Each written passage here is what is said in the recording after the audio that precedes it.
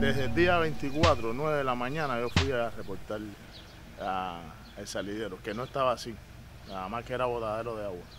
Y hoy es sábado y todavía no se ha dado solución. Lo que se ha empeorado porque ayer vinieron y dejaron abierto eso ahí.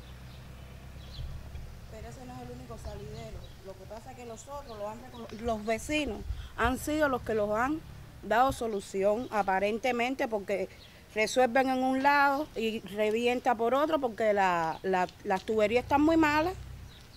Y entonces Agua de La Habana te dice que ellos no tienen con qué resolver. Si ellos, que son la empresa, no tienen, ¿de dónde nosotros vamos a sacar? ¿Podrían enseñarme un vaso de agua sucia para poder grabarlo? ¿Un vaso de agua de la contaminada tuya? Ya no. Yo lo boté ahorita mismo. Ahora, Ahora, ¿qué pasa?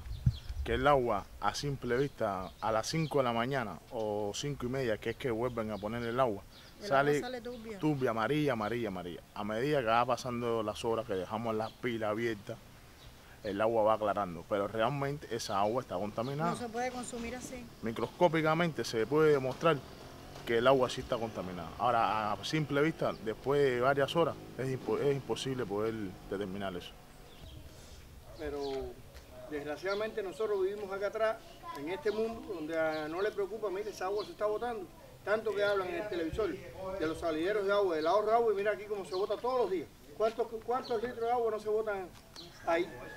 Desde hace una semana que está el salidero ese. Vinieron ayer y no resolvieron nada.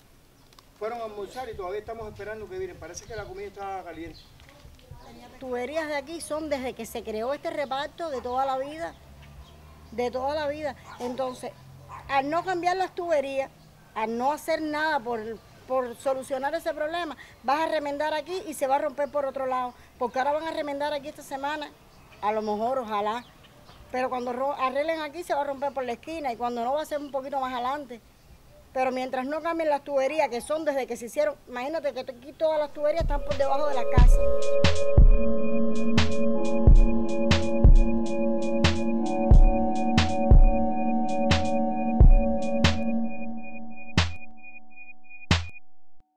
Realmente eh, trabajaron bastante rápido los compañeros que vinieron y pusieron una, una conexión nueva, desde la maestra a la toma principal de aquí de la casa, porque la afectada en ese caso era yo.